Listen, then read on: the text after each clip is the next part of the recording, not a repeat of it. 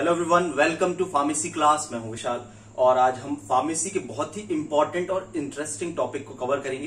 That is suspension and emulsion suspension और emulsion चाहे हम फ़र्स्ट ईयर से लेकर फाइनल ईयर तक की बात करें तो ये क्वेश्चंस हमेशा पूछा जाता है। चाहे हम बात करें इंटरव्यू की या बायबा की बात करें तो हर जगह आपका सस्पेंशन और इमल्सन के डाउट और कॉन्सेप्ट कई बार क्लियर नहीं होते हैं और कई बार क्लियर हो जाते हैं तो बहुत अच्छी बात है। तो हम ऐसे टेन पॉइंट्स के ऊपर बात करेंगे सस्पेंशन और इमल्सन के बारे में, जिससे आपको थ्योरिटिकल क्वेश्चन भी एग्ज़ाम में आता है, या आपसे कोई पूछता भी है कि इमल्सन सस्पेंशन क्या होता है तो आप बहुत आसान तरीके से एक्सप्लेन कर सकें। तो हम समझते हैं सस्पेंशन और इमल्सन सिस्टम है क्या। ये एक तरीके का डोजेस फॉर्म है। तो डोजेस फॉर्म है तो सस्पेंशन और इमल्सन बायफेजिक कॉन्सेप्ट क्या है हेट्रोजिनस क्या है किस तरीके से इसको प्रिपेयर करते हैं कौन सी चीज़ इसको स्टेबल रखती क्यों इसको प्रिपेयर किया जाता है ये सारी चीज़ें हम देखेंगे। और टेन पॉइंट्स कैसे डिफरेंस हम पढ़ेंगे जिससे आपको इजीली एग्ज़ाम में बड़ा क्वेश्चंस जो आ, आ भी जाए तो आप उसको सॉल्व कर सकें। तो आज हम देखेंगे डिफरेंस क्या है। तो सबसे पहले हम इसको एक कॉमन कॉन्सेप्ट से समझते हैं। मान के चलो आपके पास में एक बीकर है और इस बीकर में आपका वाटर एज अ लिक्विड है एज अ सॉल्वेंट यदि आप इसमें सुगर के पार्टिकल सुक्रोज ऐड करेंगे तो क्या होगा कि आपके जो सुक्रोज पार्टिकल्स हैं इस वाटर में डिजोल्व हो जाएँगे। यस अब मान के चलो इसी बीकर में आप सुक्रोज के वाटर ना ऐड करके आप इसमें बहुत छोटे छोटे रेत के पार्टिकल्स को ऐड कर रहे हैं। तो क्या रे, रेत के पार्टिकल्स जो डस्ट पार्टिकल है वो क्या इसमें डिजोल्व होंगे? आंसर नहीं। तो ये डिजोल्व नहीं होंगे, लेकिन आपके जो रेत के पार्टिकल्स हैं, वो तो हैं सॉलिड और तीसरा एक और हम एग्ज़ाम्पल देखें। यदि मान के चलो, इसी बीकर में वाटर है और आप इसमें ऑयल की ड्रॉपलेट जो हम नॉर्मल ऑयल घर में यूज़ करते हैं उसको भी ऐड करेंगे तो क्या वो इसमें डिजोल्व होंगे? आंसर है नहीं. तो आपका जो सस्पेंशन और इमल्सन होता है, जैसे हमने बात की रेत और ऑयल की, और ये लिक्विड सिस्टम है तो एक बार हमने रेत के पार्टिकल्स लिए सॉलिड और एक बार हमने लिया ऑयल और इसमें उनको मिक्स करने की कोशिश की तो उसके लिए हम एक वर्ड बोलते हैं टर्म बोलते हैं डिस्पर्स किया हमने। तो ये डिस्पर्स जब किया इसमें तो वो डिस्पर्स नहीं हुए। तो इसी सिस्टम को हम बोलते हैं सस्पेंशन और इमल्सन कौन से जो आपका रेत और ऑयल वाला सिस्टम था? लेकिन आपको पता है कि आप यदि रेत के पार्टिकल्स को या डस्ट के पार्टिकल्स को इस लिक्विड में ऐड कर देंगे तो एक समय के बाद तो वो नीचे बैठ जाएँगे और वो सिस्टम गड़बड़ हो जाएगा और लिक्विड बस ऊपर रहेगा। वैसे हम ऑयल की बात करें ऑयल वाले सिस्टम में तो ऑयल ऊपर आ जाएगा। तो इस तरीके से डोजेस फॉर्म कैसे हुआ ही तो क्यों इसको बनाने की ज़रूरत पड़ी? जब हम शुगर के पार्टिकल्स को इसमें ऐड करते हैं तो वो तो इजीली अच्छे से मिक्स हो गया, घुल गया डिजोल्व हो गया। तो सस्पेंशन और इमल्सन बनाने की क्यों ज़रूरत पड़ी? तो हाँ जैसे हमने रेत के पार्टिकल्स मान के चलो, वहाँ ड्रग पार्टिकल्स हैं और ऑयल की जगह हम ड्रग ग्लोब्यूल्स ले लें ग्लोब्यूल उसके लिए बोलते हैं। तो इस सिस्टम में हमने उनको वैसे ही डिस्पर्स कर दिया। लेकिन इनको हम क्या करते हैं? स्टेबल फॉर्म बनाते हैं स्टेबिलिटी प्रोवाइड करते हैं। तो ये मिक्स्ड फॉर्म नहीं होते मतलब ये एक तरीके से डिजोल्व नहीं होते हैं, ये अलग अलग होते हैं। लेकिन इन सिस्टम को हम स्टेबलाइज करते हैं। इसलिए कई बार जब इनकी डेफिनेशन जब आप पढ़ते हैं, चाहे इमल्सन हो सस्पेंशन हो तो ये दोनों जो है लिक्विड डोजेस फॉर्म की कैटेगरी में आते हैं सबसे पहले, क्योंकि ज़्यादातर आपके इमल्सन और सस्पेंशन जो है लिक्विड डोजेस फॉर्म है। क्यों? क्योंकि लिक्विड में हम सॉलिड और उसको डिजोल्व करते हैं। अभी डिफरेंस को भी देखेंगे, अभी कुछ कॉमन टर्म्स कौन समझते हैं? तो इसलिए इनको बायफेजिक बोला जाता है, क्योंकि रेत वाटर में डिजोल्व नहीं होगी, लेकिन हमने एक सिस्टम ऐसा बनाया कि वो लॉन्ग ड्यूरेशन तक स्टेबल रहे। तो ज़रूरी क्यों है? इसको एक बार डिस्कस कर लेते हैं। कई सारे जो ड्रग के पार्टिकल्स होते हैं और ऑयल ग्लोब्यूल्स होते हैं। यदि मान के चलो उनको सोलिबलाइज कर भी दिया तो उनमें कई सारी स्टेबिलिटी प्रॉब्लम आती है। फार्मास्यूटिकल पॉइंट ऑफ़ व्यू से फार्मेसी के पॉइंट ऑफ़ व्यू से वो एक बेहतर डोजेस फॉर्म नहीं होते तो उनका सस्पेंशन और इमल्सन फॉर्म जब बनाया गया, और जब उनकी स्टेबिलिटी देखी तो वो लॉन्ग ड्यूरेशन तक ज़्यादा अच्छे डोजेस फॉर्म होते हैं और उनसे जो थेरापेटिक इफ़ेक्ट हमको मिलने चाहिए वो अच्छे होते हैं। इसलिए सिस्टम को हमको सस्पेंशन और इमल्सन फॉर्म में डिज़ाइन करना पड़ा।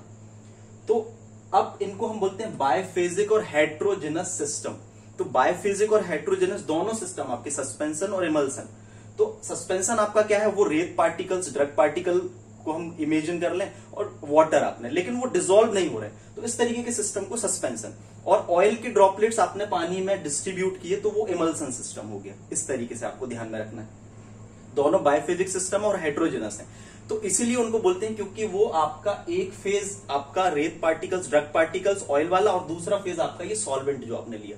इसलिए इसको बायोफेजिक बोलते हैं मतलब टू फ़ेज़ सिस्टम इसको बोलते हैं, और हेट्रोजिनस तो आप डिफाइन करेंगे जब भी इमल्सन सस्पेंशन क्या है? बायोफेजिक सिस्टम है। क्यों है? क्योंकि इनमें दो फ़ेज़ होते हैं। तो उन फ़ेज़ को हम इंटरनल और एक्सटर्नल फ़ेज़ भी बोलते हैं, जो कम क्वांटिटी में होता है सॉलिड और ऑयल ड्रॉपलेट्स ऑयल ड्रॉपलेट्स की जगह कई बार ऑयल हम ले लेते हैं और उसमें वाटर ड्रॉपलेट्स या ऑयल वाटर सॉल्युबल ड्रग्स हो जाती हैं। तो आपका वो जो है oil and water water and oil emulsion इस तरीके से प्रिपेयर होता है। तो ये इनको हम डिस्पर्स सिस्टम भी बोलते हैं। तो एग्जामिनेशन में कॉम्पिटेटिव एग्ज़ाम्स में आपको इस नाम से भी पूछा जा सकता है डिस्पर्स सिस्टम क्या होता है? कोर्स डिस्पर्जन क्या होता है? तो कोर्स डिस्पर्जन में आपके इमल्सन और सस्पेंशन आते हैं। ठीक।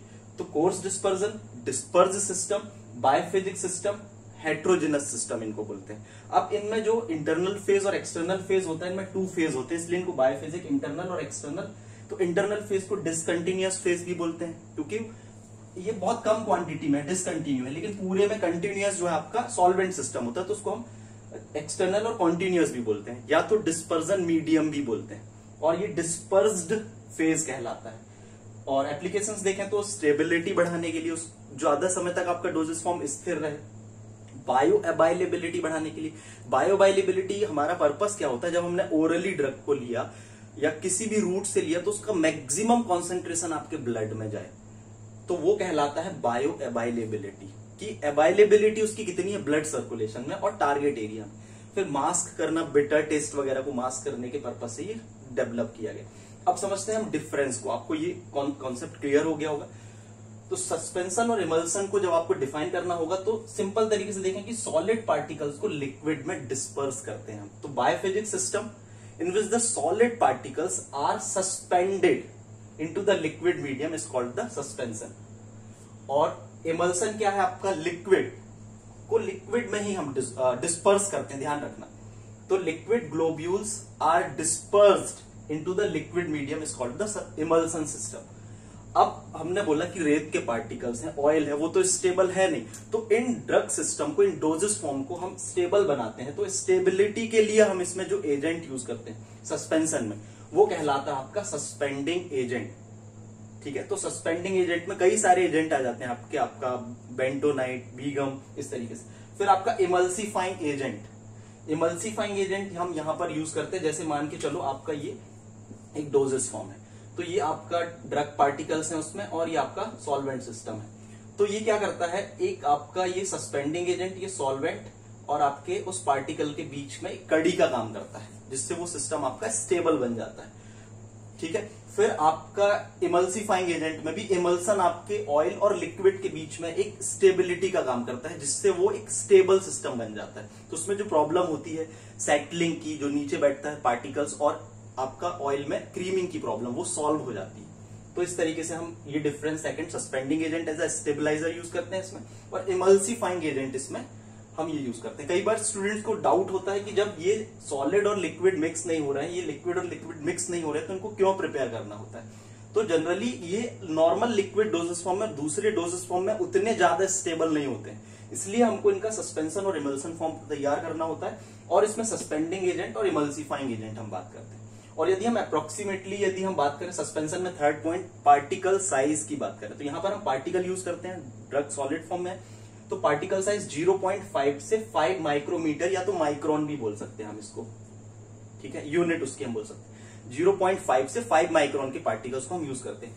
यहाँ पर आपका जो ग्लोब्यूल साइज़ रहता है, वो होता है आपका 0.25 से 25 माइक्रोमीटर का। आपका ग्लोब्यूल साइज़ होता है लिक्विड का साइज़ होता है। फिर हम बात करते हैं आपके सस्पेंशन को हम डिवाइड कैसे कर सकते हैं? आपके सस्पेंशन दो तरीके से हम डिवाइड कर सकते हैं मेनली ऐसे तो बहुत सारी टेक्निक होती है, लेकिन डिफरेंस में आपको बता सकते हैं। तो फ्लॉक्यूलेटेड एंड डीफ्लॉक्यूलेटेड सस्पेंशन अब सस्पेंशन के दो टाइप है फ्लॉक्यूलेटेड डीफ्लॉक्यूलेटेड इसको समझते हैं शॉर्ट में। इसका एक वीडियो भी है जो मैं डिस्क्रिप्शन में आपको प्रोवाइड करा दूँगा। फ्लॉक फ्लॉक्यूलेटेड का मतलब होता है ग्रुप्स में होना पार्टिकल्स और डीफ्लॉक्यूलेटेड मतलब होता है कि पार्टिकल्स का सेपरेट एंटिटी में होना। तो ये डी फ्लॉक्यूलेटेड सस्पेंशन जब पार्टिकल्स ग्रुप में होंगे तो वो तो और तेज़ी से नीचे बैठेंगे ना। हम इनको फ्लॉक्यूल्स क्यों बना रहे हैं? तो फ्लॉक्यूलेटेड सस्पेंशन इस तरीके से डिज़ाइन किया जाता है कि इनमें लूज एग्रीगेशन होता है हार्ड एग्रीगेट नहीं होते इसलिए suspension shake well before use हम बोलते हैं कि वो इजिली रीडिस्पर्स हो जाए। तो उसकी स्टेबिलिटी बढ़ जाती फ्लॉक्यूलेटेड सस्पेंशन बनाने से। डीफ्लॉक्यूलेटेड सस्पेंशन में हम फ्लॉक्यूलेटिंग एजेंट नहीं यूज़ करते ये। फिर इसमें टाइप की हम बात करें तो इसमें ऑयल इन वाटर इमल्सन होता है और वाटर इन ऑयल इमल्सन होता है। मतलब ऑयल जो पहले लिखा रहता है, वो कम क्वांटिटी में होता है, जो बाद में लिखा रहता है, वो ज़्यादा क्वांटिटी में होता है। इसका मतलब हम बात करें ऑयल इन वाटर इमल्सन की मतलब आपकी जो ड्रग है ऑयल फॉर्म में है, बहुत कम क्वांटिटी में, जिसको आपने वाटर में डिजोल्व डिस्पर्स कर दिया है। तो ऑयल इन वाटर इमल्सन और यहाँ पर आपका वाटर इन ऑयल इमल्सन दो तरीके से हम इसको डिवाइड कर सकते हैं। फिर आपका सस्पेंशन और इमल्सन के एवेल्युएशन टेस्ट क्या हो सकते हैं? कैसे हम पता लगाएँ कि सस्पेंशन और इमल्सन कौन से टाइप का है? तो आपके सस्पेंशन में उतने टेस्ट नॉट अवेलेबल बट आप बता सकते हैं सेडिमेंटेशन मेथड सेडिमेंटेशन क्या होता है? पार्टिकल्स का सेटल होना. जैसे दो सस्पेंशन आपके पास में रखे तो फ्लॉक्यूलेटेड ग्रुप में है तो सेटलिंग रेट क्या होगा? जब ग्रुप में होगा फ्लॉक्स तो फास्ट होगा. और आपके जो डीफ्लॉक्यूलेटेड सस्पेंशन है, उसमें सेटलिंग रेट कम होगा. तो सेडिमेंटेशन की जो रेट होगी, वो किसमें होगा? फ्लॉक्यूलेटेड में फास्ट होगा डीफ्लॉक्यूलेटेड में स्लो होगा। तो नॉर्मल आपके सामने रखा है, जिसमें पार्टिकल्स तेज़ी से आके बैठेंगे that is deflocculated flocculated flocculated तो हम उसको बता सकते हैं टेस्ट जो होता है एवेल्युएशन के लिए सस्पेंशन के लिए सेडिमेंटेशन है, नाम के लिए, ये समझाने के लिए मैं आपको बता फिर हम इसमें जो इमल्सन को आइडेंटिफिकेशन के लिए टेस्ट होते हैं, वो डाई टेस्ट होता है डाइल्यूशन टेस्ट होता है कंडक्टिविटी टेस्ट होता है। समझते हैं हम, जैसे डाई टेस्ट डाइट मतलब क्या होता है? कलरिंग कलरिंग एजेंट होते हैं। अब मान के चलो, आपने कलरिंग एजेंट ले लिया, जो कि ऑयल सॉल्युबल कलर है। और आपको पता लगाना है कि इमल्सन ऑयल इन वाटर है कि वाटर इन ऑयल है। तो ऑयल सॉल्युबल जो डाई है, केवल ऑयल को कलर करेगी। तो यदि बहुत कम क्वांटिटी में पॉइंट पॉइंट आपको कलर्ड दिख रहा है, इसका मतलब कि इंटरनल फेस जो है आपका ऑयल है। तो ऑयल इन वाटर इमल्सन है। यदि पूरा बैकग्राउंड उसका बहुत ज़्यादा पूरा कलर्ड हो जाता है तो इसका मतलब क्या है कि पूरे बैकग्राउंड में ज़्यादातर ऑयल है, बहुत कम क्वांटिटी में वाटर तो डाई टेस्ट हो गया। डाइल्यूशन टेस्ट में यही होता है। आप क्या करेंगे, यदि मान के चलो आपने ऑयल के ड्रॉपलेट्स डाले हैं और उसमें आपने वाटर ऐड किया। तो ऑयल के ड्रॉपलेट्स दूर दूर होंगे। डाइल्यूशन टेस्ट में मान के चलो आप और ज़्यादा ऑयल डालते हैं। तो और ज़्यादा ऑयल डालने से यदि मान के चलो वो या वाटर हम बोलते हैं वाटर है बहुत ज़्यादा क्वांटिटी में ऑयल कम क्वांटिटी में बहुत ड्रॉपलेट्स में। हम और ज़्यादा उसमें पानी डालेंगे तो कोई डिफरेंस उसमें नहीं होगा। डाइल्यूट करते जाएँगे तो ऑयल आपका जो है उसमें सेपरेट नहीं होगा। लेकिन उसी की जगह में हम ऑयल डाल देंगे तो वो सेपरेट हो जाएगा, क्योंकि ऑयल ऑयल के पार्टिकल्स जब बहुत सारे हो जाएँगे तो वो सेपरेट होने की कोशिश करेगा वाटर जो है सेपरेट होने की कोशिश करेगा तो डाइल्यूशन टेस्ट कंडक्टिविटी टेस्ट क्या होता है? वाटर एक अच्छा कंडक्टर है इलेक्ट्रिकल कंडक्टिविटी हम टेस्ट करेंगे तो आपका ऑयल इन वाटर इमल्सन होगा मतलब वाटर ज़्यादा क्वांटिटी में तो वो कंडक्टिविटी टेस्ट देगा, वो नहीं देगा. तो ये आप एग्ज़ाम्पल मैं बता रहा हूँ समझाने के लिए. आप ये एग्ज़ाम्पल लिख सकते हैं, इसमें डाई टेस्ट डाइल्यूशन टेस्ट और कंडक्टिविटी टेस्ट होता है. फिर नेक्स्ट पॉइंट जो आपको बताना है सस्पेंशन में कि कौन कौन सी मेथड से हम सस्पेंशन और इमल्सन को बना सकते हैं. तो सस्पेंशन बनाने की मेथड ट्राइचुलेशन मेथड होती है। हम इसमें simple pestle and mortar method use करते हैं। कोलॉइड मिल लार्ज स्केल में हम यूज़ करते हैं। और इसमें आपका जो इमल्सन है, उसमें wet gum method dry gum method bottle method होती है। Wet gum method dry gum method bottle method आप एलेबोरेट तरीके से भी पढ़ सकते हैं, लेकिन सिंपल तरीके से हम समझे कि आपके इमल्सन बनाने में तीन चीज़ें होती हैं, जिसको हम बोलते हैं ऑयल गम और वाटर गम यहाँ पर आपके इमल्सीफाइंग एजेंट के लिए इंडिकेट कर रहे हैं। तो वेट गम मेथड का मतलब है आप इसमें वाटर और गम को पहले इमल्सीफाइंग एजेंट को मिक्स करते हैं, उसके बाद में ऑयल डालते हैं। वेट गम मेथड में क्या ड्राई गम मेथड में आप पहले क्या कर लेते हैं? वेट गम मेथड में आप पहले वाटर नहीं लेंगे वाटर ले लेंगे गम और वाटर और ड्राई गम मेथड में आप वाटर नहीं लेंगे ड्राई का नाम ही इंडिकेट कर रहा है ऑयल और गम मतलब इमल्सीफाइंग एजेंट को पहले मिक्स करते हैं, बाद में ऑयल मिक्स करते हैं। इस तरीके से सिस्टम होता है। और आपका जो बॉटल मेथड है, वो इन्हीं की एक मेथड होती है जिसमें हम वोलाटाइल सब्सटेंस के लिए यूज़ करते हैं। इसको डिटेल में भी हम पढ़ेंगे, लेकिन एक एग्ज़ाम्पल के तौर पे आपको इसमें नाम देना है wet gum method dry gum method bottle bottle method इनकी मेथड ऑफ़ फॉर्मुलेशन होती है इमल्सन के लिए। फिर इसमें प्रॉब्लम क्या आती है? दोनों में यदि हम बात करें तो सस्पेंशन इमल्सन में जो प्रॉब्लम आती है स्टोरेज के ड्यूरेशन में तो इसमें हार्ड केक बनने के चांसेस होते हैं। जैसे सस्पेंशन धीरे धीरे धीरे बैठेंगे तो पार्टिकल्स आपस में क्लॉग हो जाते हैं। तो वो क्या बनाएँगे? हार्ड केक इसमें मेन प्रॉब्लम जो होती है। और इसमें हम देखें तो आपका ऑयल जो है डेंसिटी कम होती है धीरे धीरे धीरे वो ऊपर आएगा। तो उसको हम बोलते हैं क्रीमिंग तो इसमें क्रीमिंग एक प्रॉब्लम होती है। तो मोस्ट uh, uh, जो problem occurred in the emulsion that is creaming फिर एक और हम पॉइंट बताएँगे कि फ्रीजिंग की यदि हम बात करें ड्यूरिंग द स्टोरेज कंडीशन इनको बहुत ज़्यादा फ्रीजिंग नहीं करना है। बहुत ज़्यादा कूल नहीं करना है। नहीं तो फ्रीजिंग इनमें अवॉइड करनी चाहिए। फ्रीजिंग के कारण इनमें प्रॉब्लम जनरेट होती है। एग्रीगेशन बोलते हैं। और इमल्सन में फ्रीजिंग के कारण जो प्रॉब्लम होती है, उसको हम बोलते हैं क्रैकिंग क्रैकिंग का मतलब होता है इमल्सन का क्रैक हो जाना ऑयल अलग हो जाना वाटर अलग हो जाना. ये फिर हम बात करते हैं इसमें नाइन्थ पॉइंट की, एक एग्ज़ाम्पल की बात करें. तो आपने देखा होगा कि इमल्सन आपका जो सस्पेंशन है, ज़्यादातर ये और इमल्सन जो है लिक्विड डोजेस फॉर्म है. लेकिन टेक्नोलॉजी इतनी ज़्यादा डेवलप्ड हो गई है कि आज की डेट में इमल्सन और सस्पेंशन के अदर डोजेस फॉर्म भी अवेलेबल है. तो कंफ्यूज नहीं होना मोस्टली आपके इमल्सन और सस्पेंशन लिक्विड डोजेस फॉर्म ही है. लेकिन कई सारे लोशन जो होते हैं, आपके इमल्सन फॉर्म में अवेलेबल होते हैं।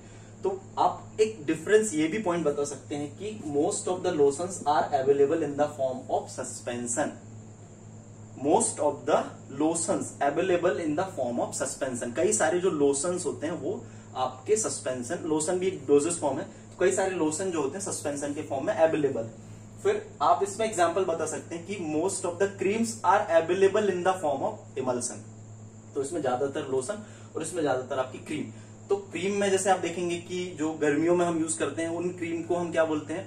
आपका ऑयल इन वाटर इमल्सन मतलब उसमें ऑयल की क्वांटिटी कम रहेगी और वाटर की क्वांटिटी ज़्यादा रहेगी. और कोल्ड क्रीम में क्या होता है? कोल्ड क्रीम में जो हम ठंडियों में यूज़ करते हैं, उसमें क्या होता है आपका?